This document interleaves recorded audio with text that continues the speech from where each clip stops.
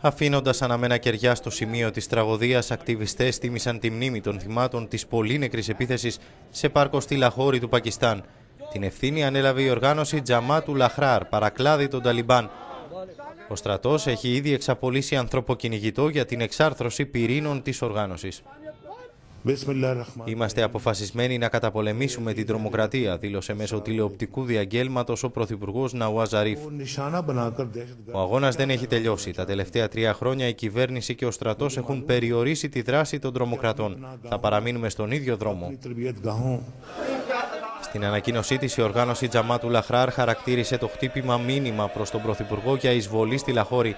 Όπως αναφέρεται, στόχος ήταν μέλη της χριστιανικής μειονότητας που γιόρταζαν το Πάσχα Περισσότεροι από 70 άνθρωποι σκοτώθηκαν, ανάμεσά τους τουλάχιστον 29 παιδιά και 7 γυναίκες. Οι τραυματίες ξεπερνούν τους 340, εκ των οποίων 25 νοσηλεύονται σε κρίσιμη κατάσταση.